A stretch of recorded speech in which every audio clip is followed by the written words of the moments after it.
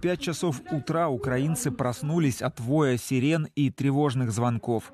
Российская армия нанесла авиационные и артиллерийские удары по территории Украины, включая крупные города и Киев. В Москве заявили, что уничтожали военную инфраструктуру страны. Украинский генштаб сообщил о пуске с территории Беларуси четырех баллистических ракет в юго-западном направлении – Владимир Путин в обращении, предваряющем атаку, объявил о начале специальной военной операции под предлогом, цитата, «защиты людей от геноцида». Он призвал украинскую армию сдаться.